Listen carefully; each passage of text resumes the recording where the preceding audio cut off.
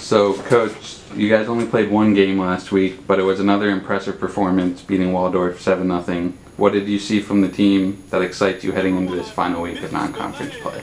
Uh, well, teams are different every year, but last year that was a national tournament team.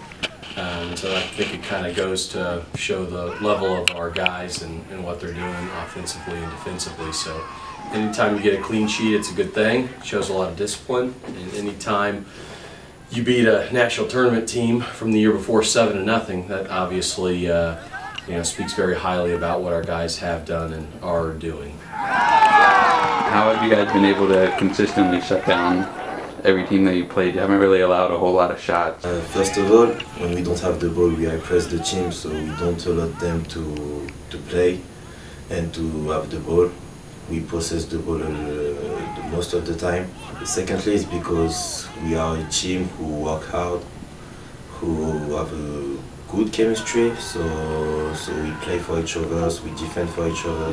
From my point of view, is uh, I think everything is about discipline and how we organize everything from the back to the top. So uh, it's a team. Will mentioned chemistry. Um, we help each other. If someone makes a bad touch, lose the ball, we help them. Um, it starts from the front to the back, and that's how we can work together as a team. You guys are playing a tough Campbellsville team tonight. What are you looking forward to in facing a little bit higher caliber competition this week? Yeah, our main focus is obviously Campbellsville because we have them in you know, seven hours. You know, we've done our research on them, and they're a good team. They've got good players.